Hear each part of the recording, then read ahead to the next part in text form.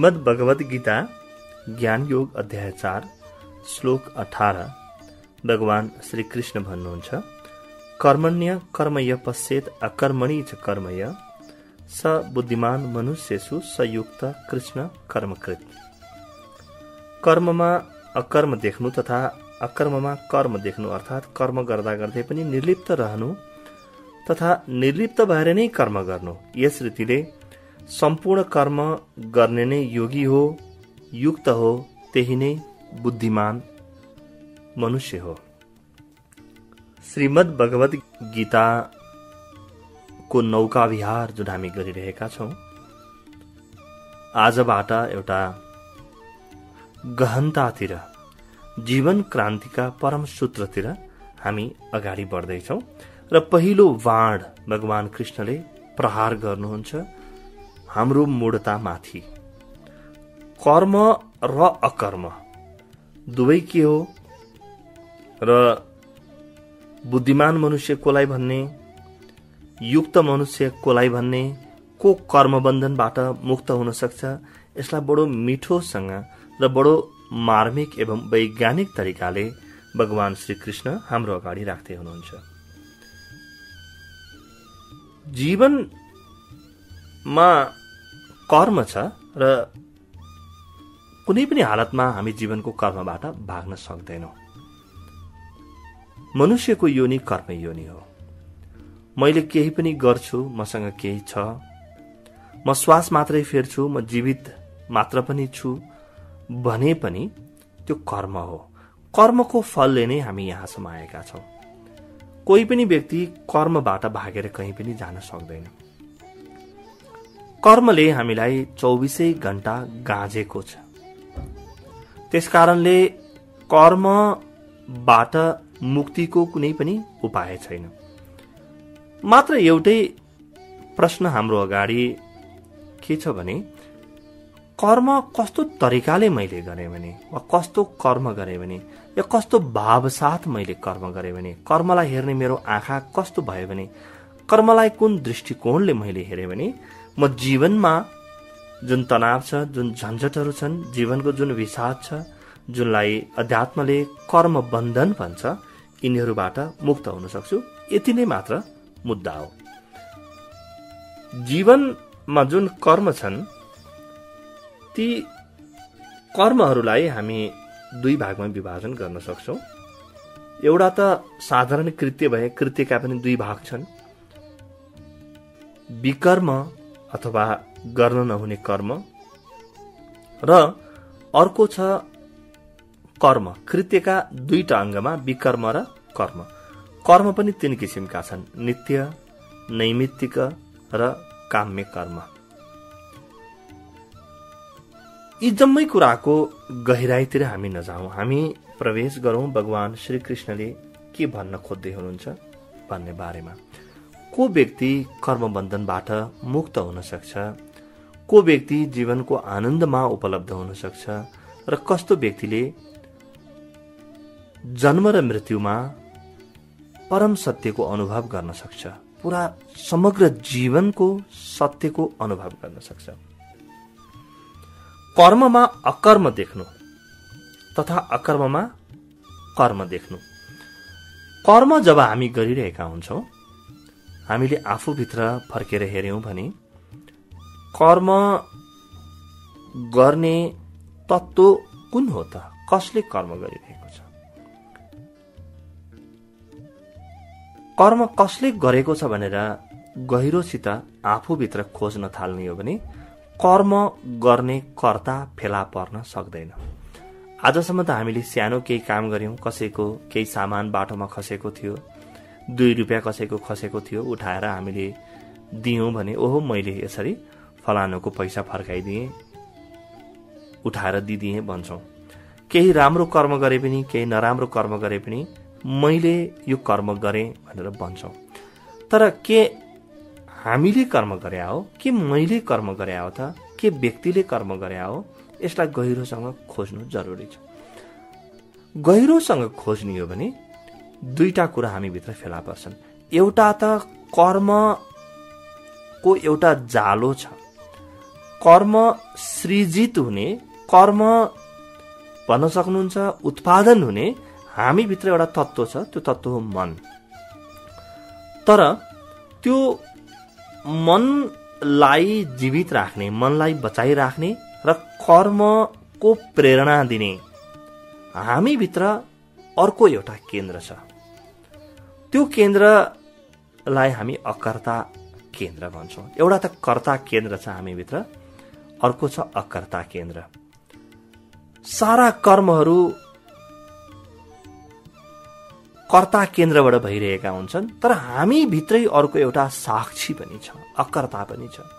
जब म बोलिरहेको छु जब म खाँदैछु पिउँदैछु जब म प्रेम गर्दैछु या कलह गर्दैछु त्यतिखेर त्यो कर्ता केन्द्रले सबै कुरा गरेको छ तर कहीँ अकर्ता केन्द्र केवल साक्षी बनेर केवल थाहा पाइराखेर सबै कुराको द्रष्टा बनेर हेरिरहेको छ।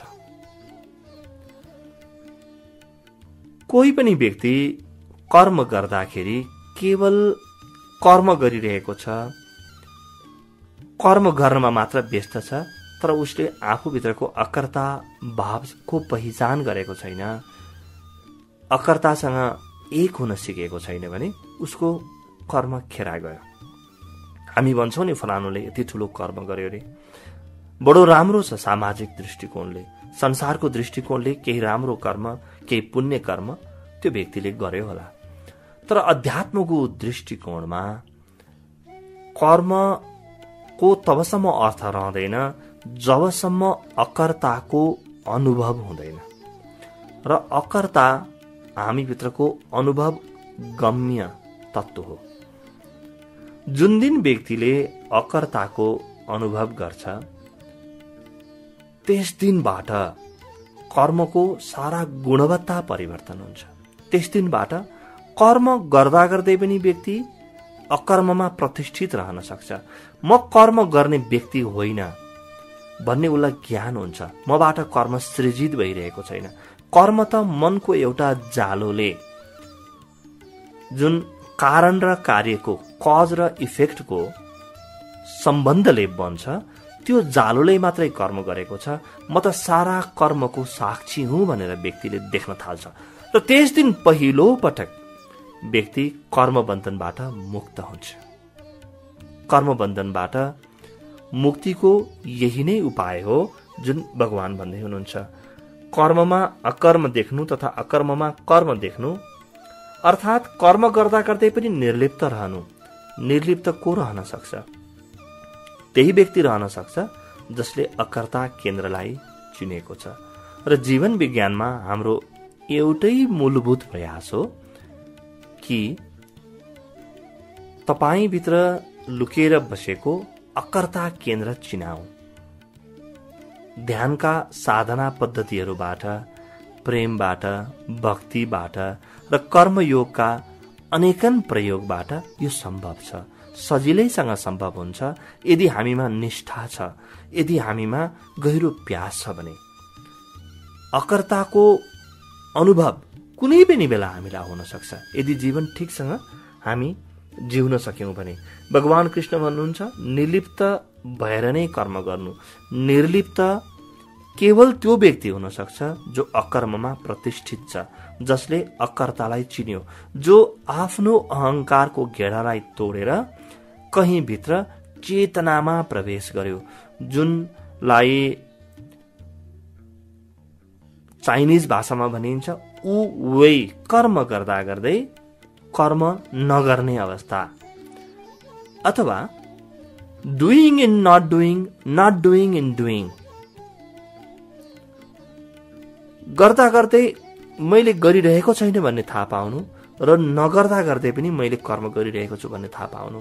किनभने यो अकर्ता केन्द्र र कर्ता केन्द्र सँगसँगै जिउँछन्। मनुष्य भइन्जेलसम्म कर्ता केन्द्रको केही शेष रहन्छ।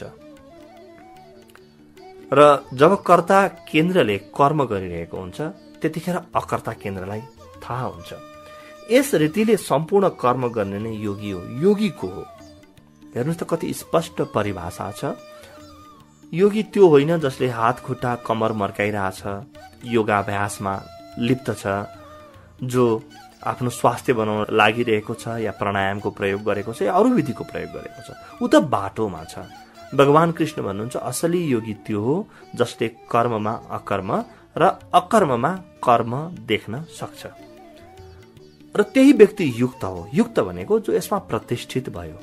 आफूभित्रको अकर्ता केन्द्रमा बोध केन्द्र वा साक्षी केन्द्र जुनलाई हामी जीवन विज्ञानमा भन्छौँ त्यो बोध केन्द्रमा जो प्रतिष्ठित भयो त्यही मनुष्य बुद्धिमान हो। बुद्धिको असली परिचय के हो त? मेरो बुद्धिको असली परिचय कर्मबाट आउँदैन यो ख्याल गर्नु होला यदि म आफ्नो अकर्तामा प्रतिष्ठित छु भने त्यो अकर्ताबाट सहज प्रेरणा स्वरूप जे जन्मिन्छ त्यहाँबाट कर्म जन्मिने हो। सारा कर्म एउटा गुरुको लागि एउटा बुद्ध पुरुष एउटा सिद्ध पुरुषको लागि एउटा सन्तको लागि सारा कर्महरू सहज प्रेरणाबाट जन्मिन्छन्। हाम्रो लागि कर्म नै छैन। साधारण मनुष्य प्रति कर्ममा जिउँछ उसलाई बाहिरबाट कसैले केही हरायो वा कुनै विज्ञापन देख्यो वा कुनै लोभ लालसा जन्मियो कुनै क्रोध वैमनस्यको भाव जन्मियो त्यो भावबाट ऊ कर्म गर्छ। र श्रीमद् भगवत गीताको लागि यो कर्म नै होइन। असली कर्म कुन हो? भित्रबाट म आफ्नो अकर्ता केन्द्रमा जुन दिन प्रतिष्ठित हुन्छु त्यस दिन जीवन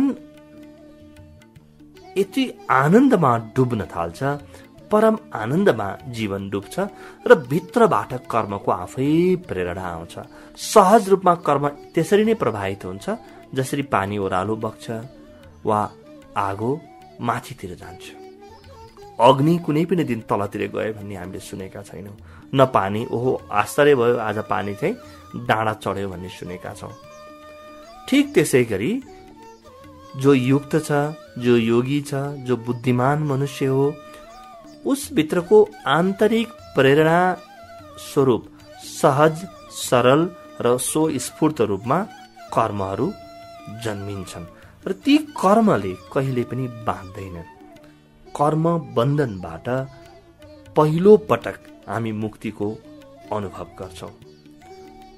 कर्म बन्धनबाट मुक्ति प्राप्त गर्नु नै अध्यात्मको उद्देश्य हो। अध्यात्मको प्रयोजन हो।